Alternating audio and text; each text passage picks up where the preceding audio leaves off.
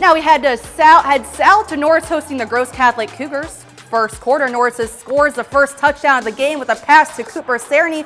He ran it from the 40-yard line in the first quarter to put the Titans ahead.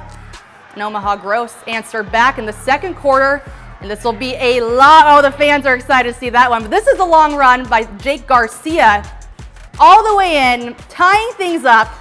But get this, Gross defeats Norris huge, 42 to 14. Up next,